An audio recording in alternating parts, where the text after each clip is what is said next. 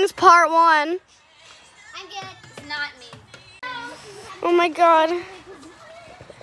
Ah!